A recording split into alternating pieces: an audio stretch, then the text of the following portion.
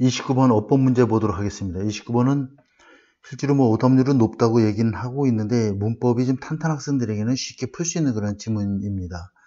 나오는 문법이 거의 반복돼서 나오고 있는 상황이기 때문에 이 글은 이제 심해에서의 그 생물체들의 어떤 생존 방식에 대한 이야기를 다루고 있는 글인데 어법 문제니까 같이 한번 보도록 하겠습니다.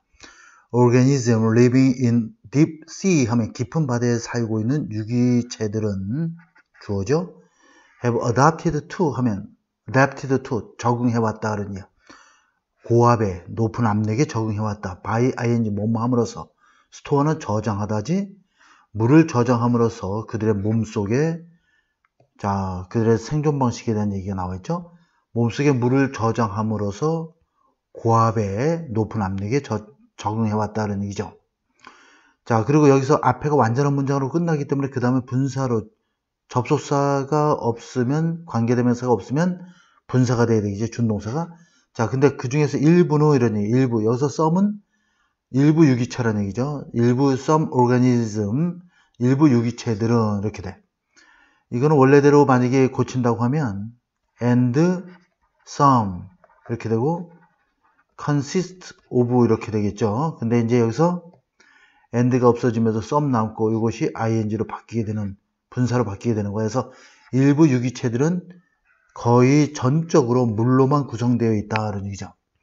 Most deep sea organism 하면 심해의 유기체들은 gas bladder라고도 하고 보통 air bladder라고도 하는데 불해를 가리키는 거죠. 동물들 어류에서 가지고 있는 부력장치죠. 뭐 뜨고 가라앉고 하는데 부력장치야. 그러니까 이러한 불의 장치가 lack, 부족하다. 부족하다는 얘기는 결국 없다 이런 얘기가 되겠죠. 아, they are cold blooded, 냉혈 유기체들이다. 그래서 그들의 몸 체온을 적응시키는 거죠. 무엇에? 환경에 적응시킨다. 그렇게 함으로써 적응시킴으로써 allowing them 그 유기체들이 그들이 이런 얘기죠. 그들이 to survive in the cold water 차가운 물에서도 생존하는 걸 가능하게 해준다. 그래서 위치는 앞문장 전체에 받기 때문에 allows,가 되는 거죠. 그래서 앞문장 전체 받는 거야. 그래서 그들이 이렇게 환경에 적응하도록 함으로써 이런 얘기야. 그래서 앞문장 전체 받으면 단수 취급하죠. 그 유기체로 하여금 생존하는 걸 가능하게 해준다. 차가운 물에서 몸하면서 낮은 신진대사를 유지하는 동안에 유지하면서 이런 얘기야. 신진대사 작용이 없으니까 활동량도 없으니까 신진대사도 없고 그러다 보면 뭐, 뭐, 뭐 음식도 필요하지 않고 뭐 별로 먹을 것도 필요 없고 뭐 이런 상태에서 심해에서 조용하게 이렇게 생존하는 나름대로의 생존 전략이 되겠습니다. 신진대사가 없단 낮은 신진대사라는 얘기는 굉장히 그 활동량이 많지 않아서 뭐 안 먹어도 배가 고프지 않은 그런 상황을 유지하겠죠. Many species 많은 종들은 lower 낮추다 그들의 신진대사를 so that 구문이죠. 너무나도 많이 낮춰서 so that 너무나 뭐뭐해서 뭐뭐하다. They able to survive 그들은 생존할 수 있다. 뭐뭐 없이도 음식 없이도 오랜 기간 동안에 생존할 수 있게 된다. 자, so that 구문이 되겠습니다. 너무나도 많이 뭐뭐해서 that이하다. 너무나 뭐뭐해서 뭐뭐하다 이런 뜻이야. 자, as 뭐뭐처럼 뭐뭐함에 따라서 이런 얘기죠. finding sparse, sparse 하면 드문, 희귀한 이런 뜻이죠. 드문 식량이 되겠지. that is available을 꾸며주는 거고 끊고 자 그러면 여기서 이, 이것이 주어고 여기까지가 주어라고 보겠지. 여기 동사가 되겠습니다. 그래서 expand는 소비하다 이런 뜻이야. 소비하다. 자 그러면 그들이 구할 수 있는 매우 드문 식량을 찾는 것은 먹을 수 있는 음식도 굉장히 적지만 그 뭘 먹고 자라는지 모르겠지만 어쨌든 간에 이용 가능한 그런 매우 드문 식량을 찾는 것은 많은 에너지를 소비함에 따라서 이런 얘기야. 소비하기 때문에 신진대사를 낮출 수밖에 없는 거죠. 너무너무 낮춰서 아무것도 먹지 않고 음식을 먹지 않고 며칠 동안 오랜 기간 동안에 생존할 수 있게 된다 는 얘기죠. 생존할 수 있도록 하기 위해서 이렇게 해도 되고 신진대사를 낮춘다는 얘기야. 왜냐면 활동을 많이 하게 되면 음식 소비가 더 에너지 소비가 더 많아지기 때문에 many predatory fishermen 이건 포식의 이런 뜻이죠. 많은 포식 물고기죠. 깊은 심해에 사는 아, equipped with 뭐뭇을 갖추다 이런 뜻이에요. 엄청난 큰 입과 날카로운 치아를, 이빨을 가지고 있다. 이런 얘기가 되겠죠. 그래서 여기까지 완전한 문장이니까 끝나니까 그 다음에 준동사가 나와야 돼, 반드시. 그것은 위치해서 이것도 역시 enables로 바꿔주면 돼. 앞문장 전체를 봤기 때문에. 그래서 아 위치 enable 오케이 여기는 그 enables가 아니라 enable 해야 되겠다. 왜냐면 이걸 받는 거죠. 거대한 입과 날카로운 이빨이 그들로 하여금이라는 얘기예요. 그들로 하여금 enable 목적어 투죠. enable 플러스 목적어 플러스 to 동사인데 이게 목적이 보호가 되는 거죠. A가 B 하는 걸 가능하게 하다 이런 얘기야. 이걸 A로 보고 B로 보면 A가 B 하는 걸 가능하게 하다. 그들이 이 심해의 포식 물고기들이 여기서 대문 바로 이 포식 물고기를 받는 겁니다. 포식 물고기를 대미 받는 거야. 물고기들이 hold on to prey 먹잇감을 붙잡고 이트는 바로 먹잇감이죠. 먹잇감을 압도하는 걸 가능하게 해준다. 앞에가 완전한 문장이 끝나면 그 다음에 동사 또 쓸 수 없어. 그래서 접속사나 관계대명사를 이용해서 동사를 쓰든가 아니면 접속사나 관계대명사가 없으면 ing가 되는 그런 문장 구조가 돼야 돼. 간단하게만 좀 설명을 해볼게요. 지금 계속 나오고 있는 문제이기 때문에 영어에서는 이렇게 완전한 문장이 나오면 또 이렇게 완전한 문장 이렇게 해서 쓸 수가 없어. 그러니까 이 부분에는 자, 이 부분에는 어떻게 문장을 쓰냐면 이거 잘 알고 있어야 돼. 문장의 기초야. 관계 대명사를 이용해서 문장을 연결해 주는가? 접속사를 이용해서 문장을 연결해 주는가?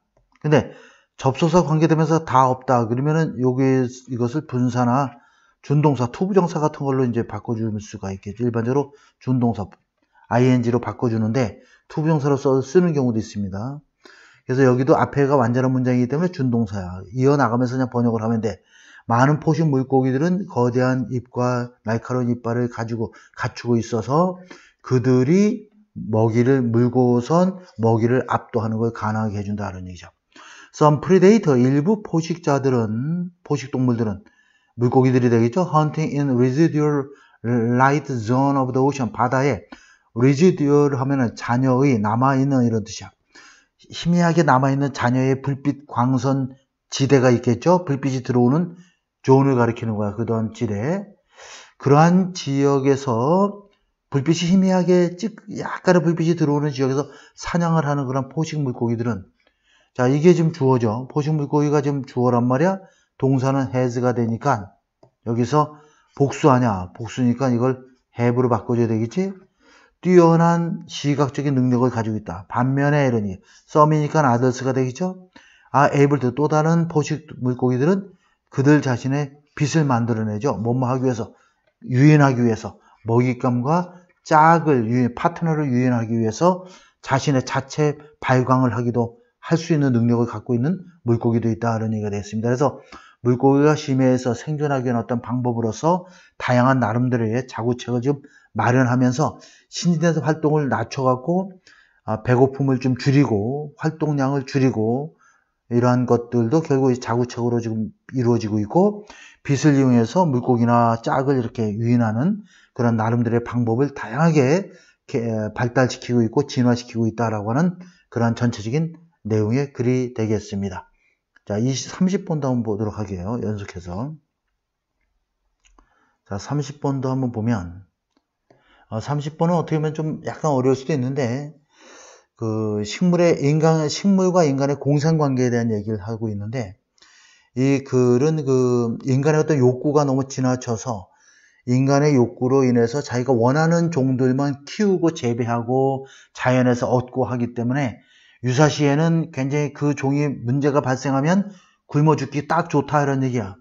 그렇기 때문에 식물과 인간의 공상관계 유지를 위해서는 어떻게 해야 되는지를 이 글에서 아, 잘 보여주고 있고 인간이 식물을 어떤 진화의 파트너로서 바라보면서 자연 세계에서 인간의 위치를 더욱더 이렇게 명확하게 이해하는 것이 굉장히 중요하다라고 하는 내용인데 식물의 경작과 인간의 욕구가 지금 이렇게 서로 맞물려 있는데 인간도 욕구를 좀 버리고 이렇게 하다 보면 그, 그 여러 가지 그 생물 다양성도 가져오면서 어, 인류를 위해서 또 우리 후손들을 위해서 다양한 그 먹거리를 만들어 놓고 펼쳐 놓을 수 있지 않을까 하는 그런 전반적인 어, 내용이 되겠습니다. 조금 어려울 수도 있습니다. 약간 한번 보도록 할게요. Human innovation in agriculture, 농업에서 인간의 혁신은 이게 주어 져. has unlocked, unlock은, unlock은 잠긴 것을 푸는 거니까 여기서 revealed 정도로 해석해도 revealed, 드러냈다 이런 얘기죠.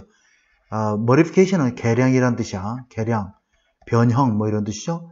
사과나 튤립이나 그 다음에 감자에 있어서의 어떤 개량 품종을 어, 이렇게 찾아냈다 이런 뜻이 되겠죠. 이러한 개량 품종들은 대절이 꾸며주고 있는 거지. 이 품종들을 never would have been realized. 자, 여기서 품종을 가리키는 게 아니라 개량, 이 전체를 가리키겠지. 자, 그러면 요 대선, 대 이하의 문장은 앞에 있는 요 일부 품종에 있어서의 어떤 개량을 가리키는 겁니다.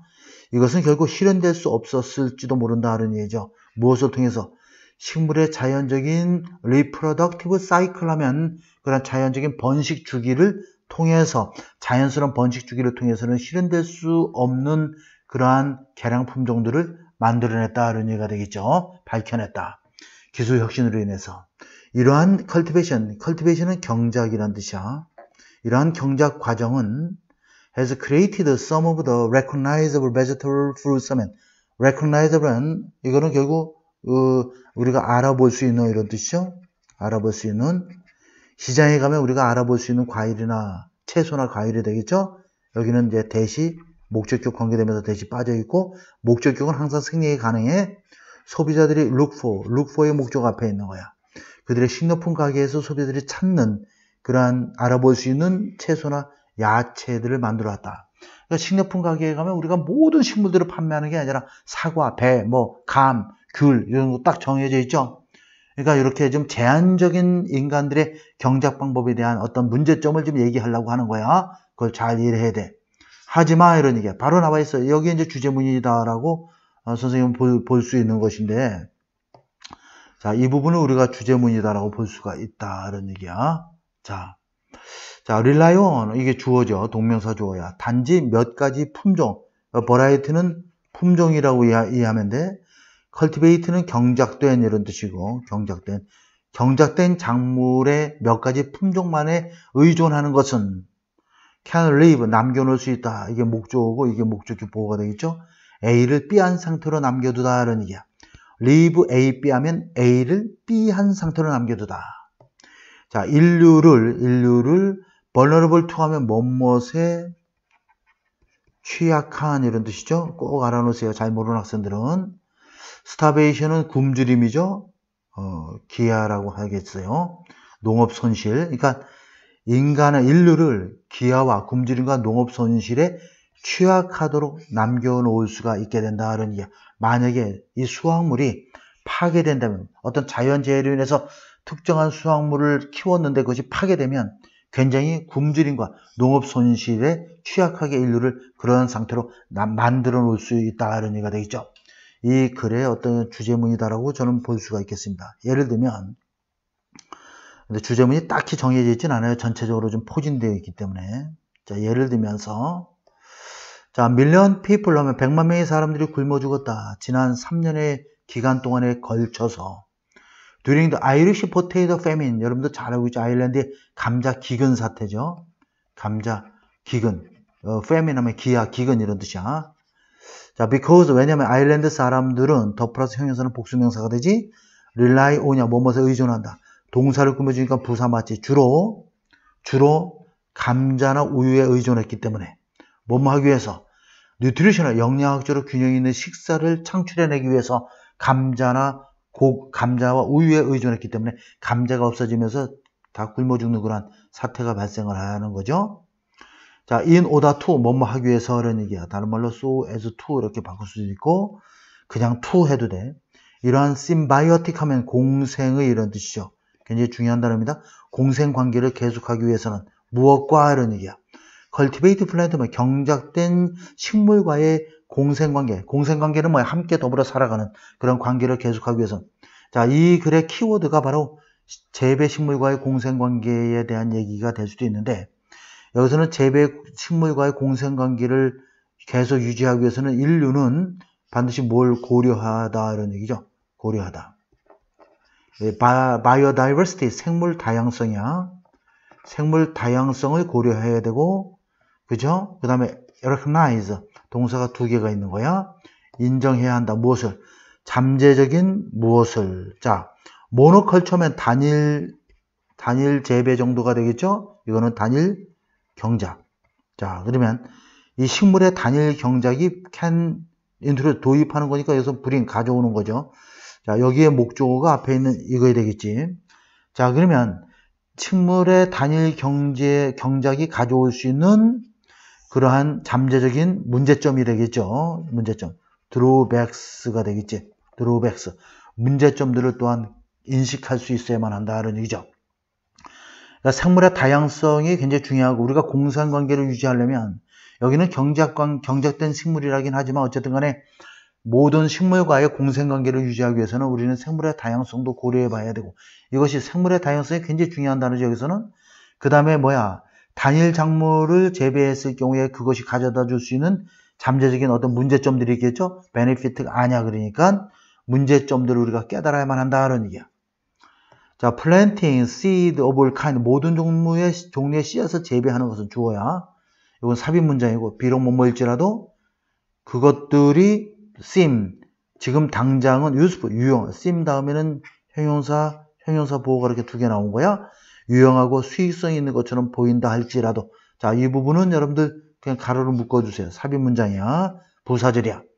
자 그러면 모든 종류의 씨앗을 재배하는 것은 이 자체가 주어가 되는 거야. 이것은 자 이것은 can ensure 확실히 보장할 수 있다 무엇을 longevity of those plant 이러한 식물들의 장수 오랫동안 이 식물들이 오래 지속되는 것을 보장할 수 있다.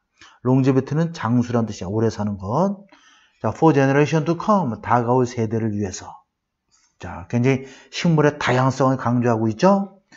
자, 지금 우리가 먹는 것은 사과, 배이긴 하지만 다른 식물들도 계속 그 확대를 해서 우리가 개발해 나가야 된다는 얘기죠. 따라서 균형이 이루어져야 한다. 원래 스트라이크, 어, 밸런스 하면 균형을 맞추다 이런 뜻이 됩니다. 그래서 균형이 이루어져야 한다. 뭐뭐 사이에 자 여기 보면은 자연의 능력이죠. 수용 능력. 자 야생에 대한 자연의 수용 능력과 자연은 이만큼 갖출 수 있어. 이것과 인류의 욕구, 통제에 대한 욕구. 인류의 통제, 자연의 수용 능력은 넓어. 그죠? 근데 인류의 통제 욕구는 굉장히 좁아. 먹을 수 있는 특정한 종들만 재배하고 키우기 때문에 여기서 문제가 바로 그 얘기를 하고 있는 거야. 그렇기 때문에 이것 사이의 균형이 상당히 맞춰져야 한다, 이루어져야 한다라는 것이 자, 이 글도 굉장히 그 주제에 해당되는 그런 문장이다 이렇게 어, 볼 수가 있겠습니다. 그래서 다소 자세히 들여다보면 좀 더 어려울 수 있는데 인간과 식물의 공생관계를 위해서는 인간이 약간 통제, 욕심도 좀 버려야 되고 인간의 욕심을 버려야지. 우리가 단맛을 위해서 사과를 필요로 하고 미적인 것을 위해서 무슨 무슨 꽃을 좋아하고 이렇게 인간의 욕구에 부합하는 식물만을 재배하고 키우다 보면 굉장히 문제점이 발생할 수 있다는 것이 이 글의 전반적인 내용이기 때문에 생물의 다양성에 대한 이야기가 이 글의 핵심적인 내용이 되기